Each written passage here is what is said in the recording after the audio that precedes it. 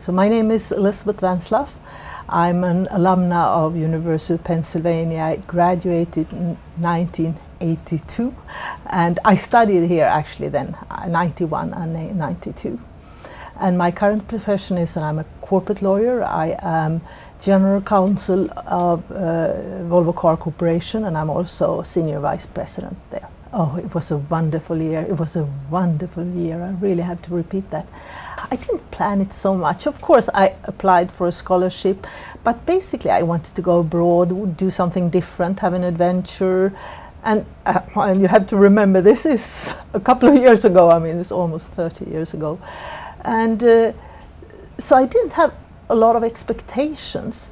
But when I was there, I realized how much it did to me, how much it broadened my mind, how much it helped me in my career, how much people I got to know, how much I, I benefited from, from it in all respects. So it, it really changed my life. I think it opened my eyes. It opened my eyes for law, that law is different in different countries. It opened my my mind, my, my way of thinking, the way of legal thinking. I had a legal profession. I was a lawyer.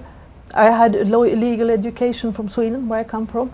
But of course, I got this other perspective, the US perspective and also an international perspective. So it did a lot to me as a person. And if it does a lot to you as a person, it does a lot to you as a lawyer. I think Penn took very well care of uh, their foreign students. They organized a lot of parties and adventures for us, and it made us get to know each other and, and, and feel special. I, I, think we were very well taken care of here. So I think that contributed to, at least for me, a very great year here. They should definitely not hesitate to apply.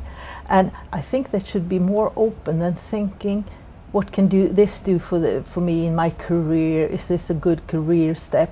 I think they should go beyond that and think, what can it do to me as a person? Because I think that is the the real benefit.